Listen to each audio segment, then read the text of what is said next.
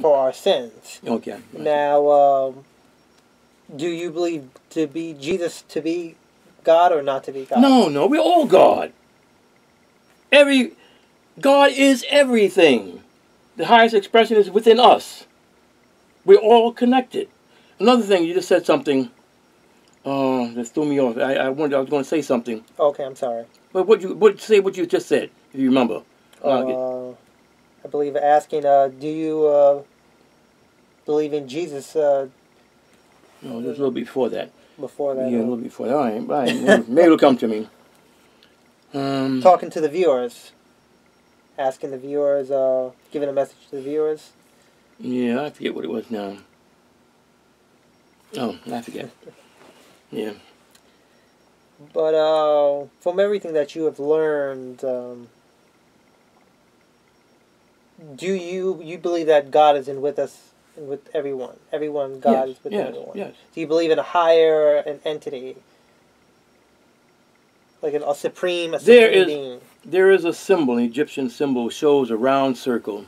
I don't know whether they describe it as a sun or what, with lines leaving, like this, all kinds of extension of lines. And on the end of each line is something different, showing you that even though all these are different, it's connected to the same source. That's what we are. We are connected to the higher, whatever you want to call it, God, whatever it is, we're connected. We're, we're, we're an extension. But in each, each extension is something different. But we, we, we're all. We, Jesus said, the kingdom of heaven is within you.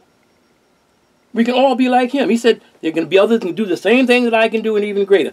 People in the church say, well, God, Jesus was God incarnate in man. If Jesus was incarnate in man, no one could go beyond him. But he said himself, others can do the same thing that I can do and even greater.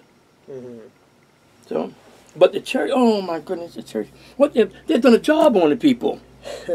it is mind-boggling that people get wrapped up into accepting something without question. It's dangerous. Well, we're gonna do another uh, episode Hmm. on uh, the Bible itself. I know uh, you can speak a lot about Mm. the Bible. I mean, this was episode was about the life of Jesus, but uh, we can talk more about the Bible and things that you have to say about it and uh, the religions. We can Yeah. do a video episode on that. I have seven different lectures that I have prepared. The last one I was going to do was going to be uh, the Bible. Whose word is it? But I never got to that. Okay. Yeah. Whose word is it? All It sure isn't God's, Okay. because God doesn't talk like that. hmm Can contradict himself. All right. Well, uh, Yeah, yeah. That'll wrap up episode six.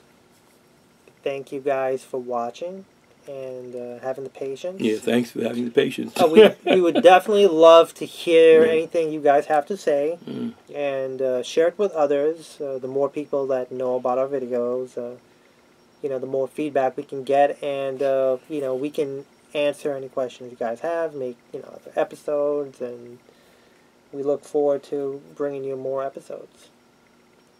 Adrian and Bernard, thank you for watching. Mm, Take care.